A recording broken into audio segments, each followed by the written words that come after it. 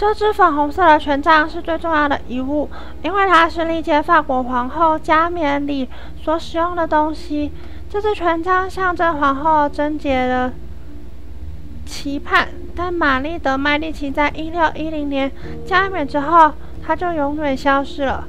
有人说，玛丽德麦利奇想借此成为最后一任皇后，所以她故意让权杖消失无踪。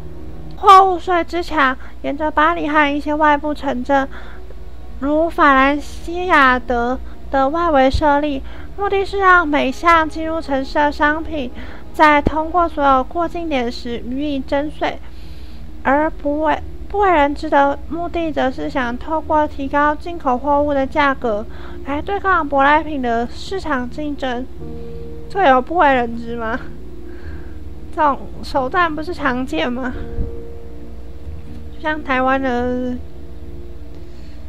的什么啊？忘记，我记得也有一些东西是这样，呃，想要避税就发展成避开货物税之墙。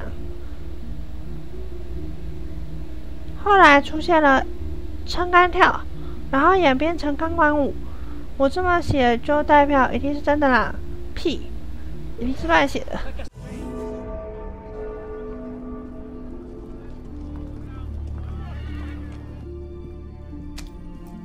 谢谢大家的收看，我们下一集再会，拜拜。